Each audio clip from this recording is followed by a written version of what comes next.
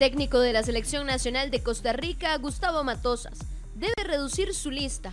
Hoy día tiene 40 jugadores elegidos, pero para la Copa Oro debe decidirse por 35. Sí, la tengo. Tengo el, el número grande de la lista, la tengo. Tengo 40 jugadores, pero tengo que bajarlo a 35, que es el grosso de la lista, y después hacer la convocatoria de los correspondientes. ¿Estará Keylor Navas? y me alegra pues que Keylor quiera, quiera estar. Si Keylor va a estar o no es un tema ya que le corresponde al técnico. ¿Y Brian Ruiz? Corresponde al, al técnico decidir en su convocatoria en, en, las próximas semanas si va a estar o no va a estar. La Fede Fútbol el 14 de mayo dará a conocer el uniforme para esta Copa Oro. Hay un color nuevo que está muy bueno. Es más, bueno, no voy a decir nada. Y Gustavo Matosas nos adelantó que el color no será tradicional. Ah, sí, sí, vi, vi el, el, proyecto. ¿El color no lo saben todavía? No.